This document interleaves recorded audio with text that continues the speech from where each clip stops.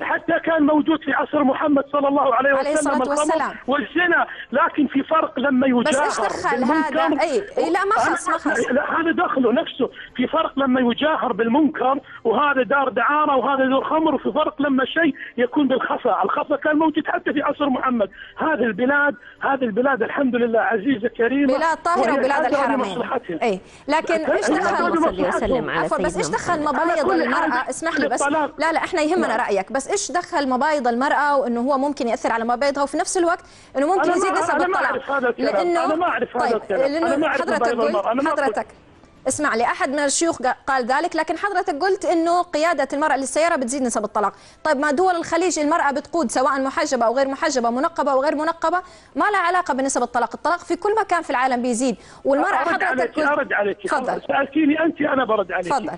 أنا المقصود بذلك أنا أقصد أن المرأة ستضيع حقوقها من قال لك أنا أنقذت دورات اجتماعية وأسرية في دولة الكويت وفي في الإمارات وفي قطر وفي البحرين وهي دو وهي بلاد فيها قيادة سيارات النساء هناك يشتكون يقولون يا دكتور يا غازي الشمر يا أخونا نحن لما قدنا السيارة وعملنا أزواجنا صاروا يعتمدون علينا اعتماد كلي.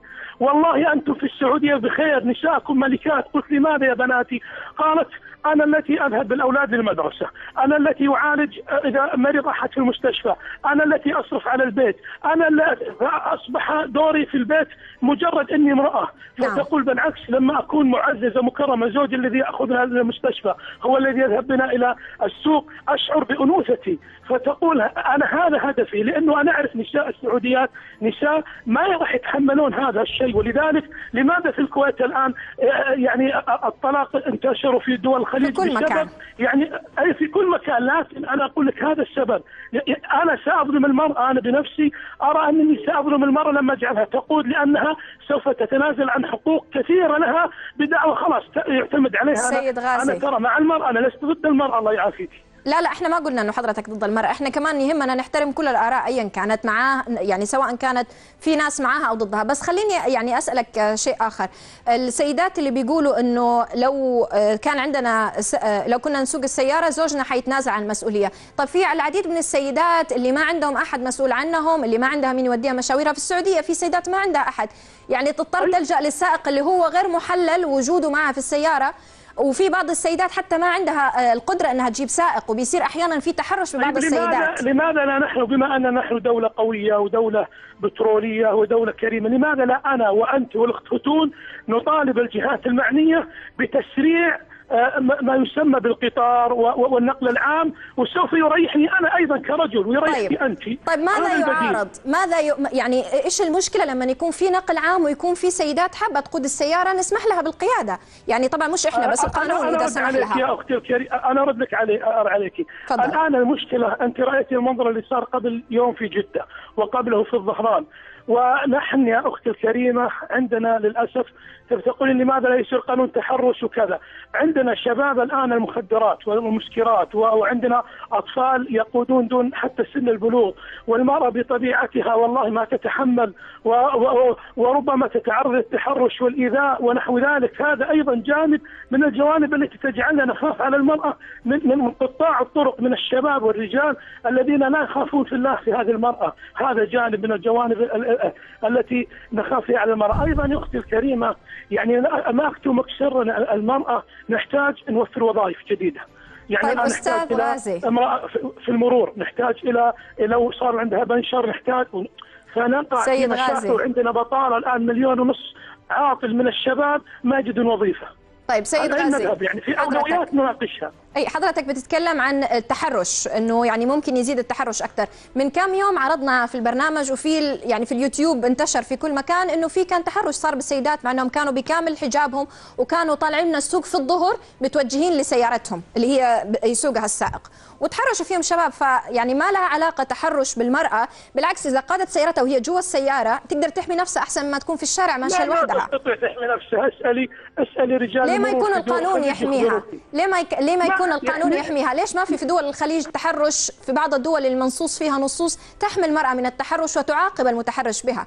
مو هذا أفضل يكون في قانون حتى يحمي المرأة من التحرش؟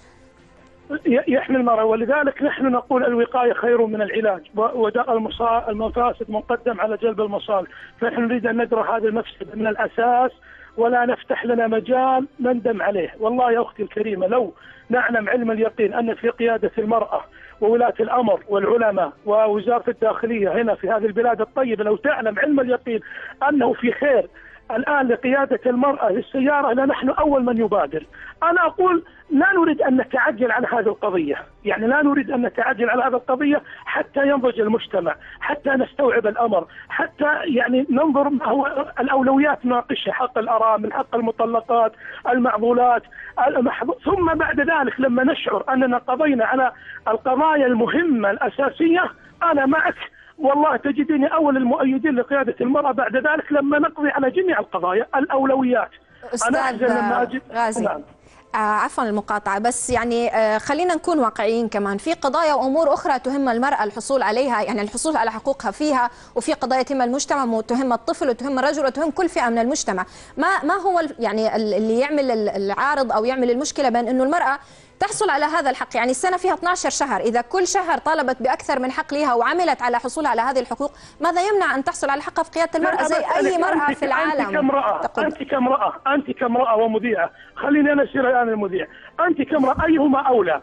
أنني أطالب لك بمستشفى خاص تولدين فيه بحرية وسوق خاص نسائي لك ولا تقودين السيارة. أيهما الأولى بنظرك الآن؟ بنظرك أنت الآن. يا أختي الكريمه سلوى شاكر عندنا في قناتك. سلوى شاكر ظهرت في قنواتكم قناة روتانا خليجية وهي مذيعة سعودية. قالت وهي عمرها تعدى الخمسين والستين من قواعد من النساء ومع ذلك تقول ما سلمنا من التحرش. وهي وهي تقول نحن في مكاتب ربما ليست مختلطة وهي في في روتانا خرجت. وهي مذيعة سعودية قالت ما سلمنا من الابتزاز الرجالي. أنتم ما أدري وش تبغون من الرجال. أيضا ابتعدوا يعني هذه واحد شهدت شاهد منكم. قالت نحن تأذينا من الرجال. يا بنتي يا أختي الكريمة والله وتالله وبالله. أن المرأة إذا صارت بجوار الرجل وقادت بجواره وتح... لترين مصايب ما يعلم بها الله عز وجل. هل تعتقد أنا... أستاذ غازي آخر سؤال هل تعتقد يعني دول الخليج كلها المرأة تقود السيارة في دول الخليج الإمارات البحرين قطر كل دول الخليج تقود المرأة في السيارة وبكامل حجابها وحشمتها سواء كانت محجبة أو غير محجبة؟ هل تعتقد أنه عندهم فساد بسبب قيادة المرأة؟ آه والله يا أختي الكريمة آه آه إن الله يسألني عنها يوم القيامة يوم أقف بين يديه أنهم يتعرضون للأذى والتحرش هل يعني ذلك أن المرأة السعودية لا تتعرض للتحرش في السعودية؟ لا, لا تتعرض لكن في في فرق لما تتعرض يعني يعني آه، ونحن نهيئ لها التعرض الفرق لما نحن نساعدها على عدم التعرض، م. نحن الإنسان يتعرض وهو في بيته ربما، لكن يا أختي الكريمة في نساء ولكن القانون لو لو, لو, لو يا بنتي بكرة أنت لو تزعلين على زوجك ولا على أخوك ولا على أي والدك شغلتي سيارتك وما ردك إلا 500 كيلو، ذهبتي للسوق، ذهبتي للبحر، اشتكيتي لفلان وعلان، المرأة بطبيعتها التي الفسيولوجية التي خلقها الله بس المرأة عاقلة. إي بس المرأة عاقلة هي الأم والأخت والبنت. ما حد ما تستحق الثقه يا بنتي الله عز وجل لما جعل القوامة عند الرجل لأن العقل عند الرجل أكثر آه، من العاطفة عند المرأة. المرأة إذا غضبت لا الرسول قال إذا غارت لا تبصر أسفل الوادي من بس هي ممكن تغضب في السعودية وتخرج من البيت عليه الصلاة والسلام. بس هي طيب. ممكن تغضب وتخرج من البيت بدون ما تقود السيارة كمان. لا يا أختي الكريمة أنا أقول لا, لا نريد أننا نجعل همنا. أرجوك الآن نحن في هذه طيب. البلاد وزارة الداخلية أصدرت قرار. أنا أبغى أقول نص دقيقه واختم وزارة الداخلية قالت قرارها وأتمنى من أختي هتون وأختي هاله الدوسري وجميع البنات الطيبات الشريفات في هذا البلد المعطاء أنهم يستجيبون لأوامر وزارة الداخلية. طبعا. لا لا 31 نوفمبر ولا غيره. الدولة متى ما شعرت ان أننا مهيئين نحن الحمد لله في بلاد تحكم شرع الله. وهم يعني بإذن الله أدرى بمصالحهم مني ومنك ومن هيلاري كلينتون ولا غيره من الدول التي ربما تضغط على بعض بناتنا، اسمعي هم طيب. أدرى متى ما شعر أنا أولهم لو قال وزير الداخلية لأني أنا أنا أنا مبايع الملك عبد الله. وأنا وأهلي كلنا نبايع. الملك عبد الله الله يحفظه. كلنا مع القانون السعودي ومع الأسرة المالكة. طبعا ومع أمن السعودية. كلنا مع أمن السعودية. اخر آخر نقطة. لا لا. بس بيان. بيان وزارة نعم. الداخلية لم لم يمنع القيادة. منع التحشد منع انه يكون في مجموعة من السيدات منع لا لا المظاهرات. لا سلامتك. أنت ما تتابعين اذا الإعلام. لا، من طبعاً الغد أتابع. طلع منصور طلع من الغد منصور التركي وقال كلمة اللي هو منصور في التركي. وفقه الله. طبعاً لا اللواء. قال ممنوع المقصود ممنوع قيادة المرأة للنساء بتاتا. قال بهذا الكلام. ارجعي واسألي زملائك ويخبرونك بذلك. أنا من الخبر في هذا. الحلقة. طيب شكرا لك أستاذ غازي الشمري على هذه المداخلة. أستاذة هتون أو دكتورة هتون ما تعليقك على ما سمعتيه؟ آه والله من فين أبدأ بس؟ لكن آه هناك الكثير من النقاط اللي آه يعني استوقفتني مع الأستاذ غازي الشمري. لكن أنا خليني آه لأنه يعني كل الكلام اللي طرحه آه واللي عليه ملاحظات سبق اني تكلمت عنه. يعني فندته في مقالاتي المختلفة والكثير يعني صار في حوله حوار واتفاق. لكن أنا أقول يعني أرد بجملة واحدة وهو أنه آه، الحوا ال- الموقف كله كل ال- الخلاف هذا ينتهي عندما تكون القيادة اختيارا. طيب أنا يعني أنا ما حد ما حد جابر ما حد جابر الأستاذ غازي إنه يطلع بناته ولا أول ولا زوجاته ولا أهله يسوقوا لكن هو كمان ما له شغل في غيره.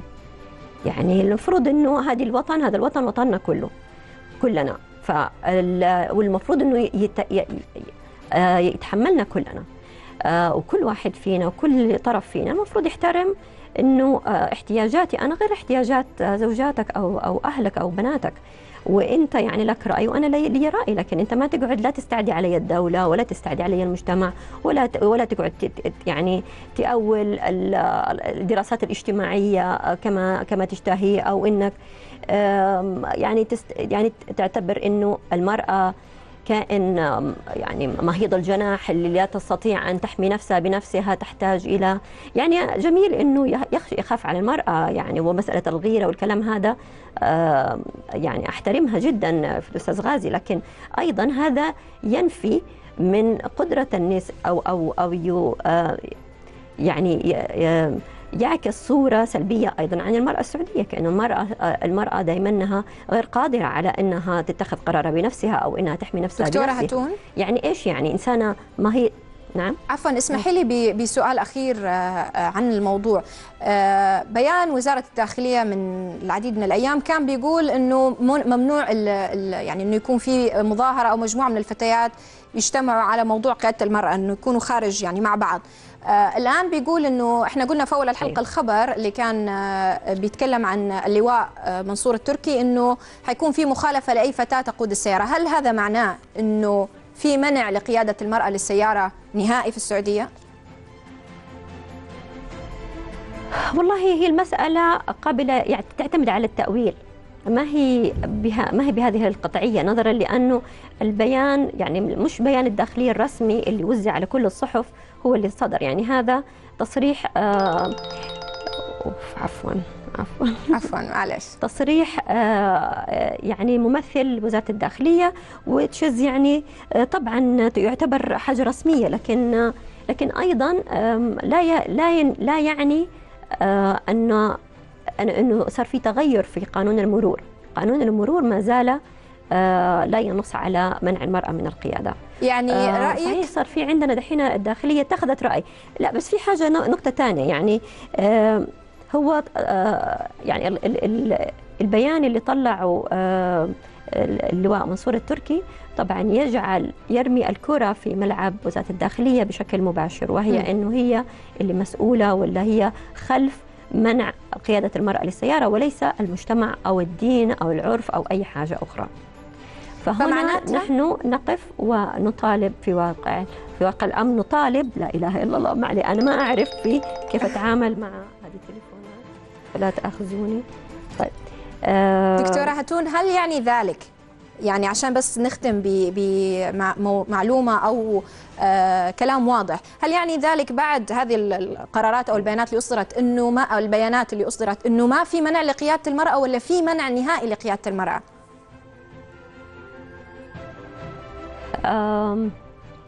خلينا نقولها إنها متروكة لكل يعني ما فيش عقوبة خلينا نقول كذا. لا بس الخبر لما قرأته اليوم كان بيقول الخبر لما قرأته اليوم كان بيقولوا إنه في بعض العقوبات على المخالفات واللي حيقودوا سيارتهم. يعني في بعضهم حيعاقبوا بغرامات تسحب السيارة تعهد على